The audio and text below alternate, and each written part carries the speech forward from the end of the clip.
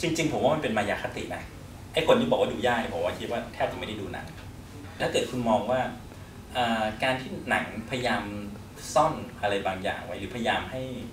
วางโครงที่ทำให้เราสามารถที่จะตีความได้เองความสนุกของมันอาจจะอยู่ตรงนั้น คือมันมีความสนุกในการที่ค้นหา มันไม่มีคำว่าดูยาก เพราะว่าการเรียนการสอนศิลปะในบ้านเราเนี่ยสอนให้คนโง่สอนให้คนก๊อปปี้ไม่สอนให้คนคิด แล้วก็ปิดกั้นจินตนาการทุกอย่าง ทำให้เด็กคิดไม่เป็น อันนี้คือการเรียนการสอนศิลปะในบ้านเราเลย ไม่เคยเรียนที่เอาหนังไปเปิดให้เด็กดู หรือเอางานศิลปะหนึ่งชิ้นไปให้เด็กดูแล้วให้เด็กทุกคนวิพากษ์วิจารณ์ แล้วแบบไม่มีใครผิด เพราะงานศิลปะมันไม่มีผิดไม่มีถูก แต่เราสอนบอกว่าถ้าคิดไม่เหมือนครู คิดไม่เหมือนคนอื่น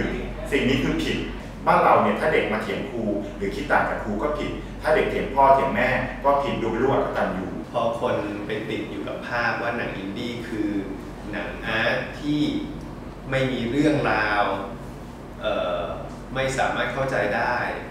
แช่ภาพนานๆ ดูแล้วหลับอะไรเงี้ยมันมันก็สร้างอคติให้กับคนในสังคม แล้วก็ทำให้เขาปิดกั้นตั้งแต่แรกไม่อยากเข้าไปดูตั้งแต่แรกเพราะคิดว่าดูยังไงก็หลับ มันเหมือนบางทีเราดูภาพ abstract คือคือเราไม่รู้เรื่องหรอก แต่ว่าในระหว่างที่เราไม่รู้เรื่องแล้วเราพยายามที่จะที่จะเข้าใจหรือว่าพยายามที่จะซึมซับในระหว่างแต่นั้นมันมันเป็น entertain แบบหนึ่งเหมือนกัน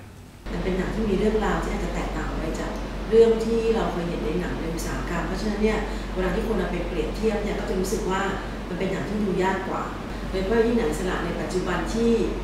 เเขาไปถ่ายในการฉายในเทศกาลภาพยนตร์นานาชาตินะคะ แล้วพอถูกมองในหนังลักษณะอย่างนั้นมาก ๆ ขึ้นเนี่ย ก็เลยมองว่าหนังสระจะต้องเป็นแบบนี้ แต่จริงๆแล้วไม่ใช่นะคะ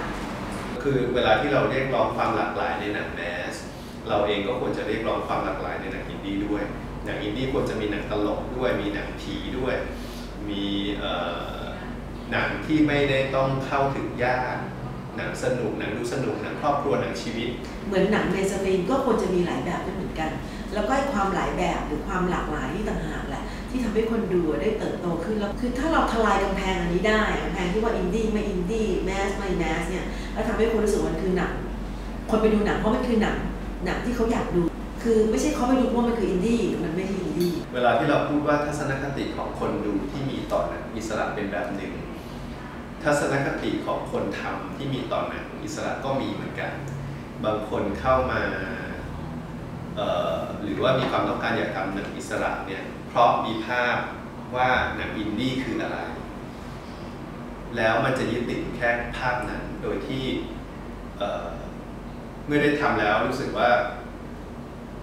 ตัวเองทำทำถูกแล้ว หรือแม้แต่การที่ไม่ฟังเสียงคนดู ไม่ฟังเสียงวิพากษ์วิจารณ์ ไม่แคร์เรื่องการสื่อสารกับ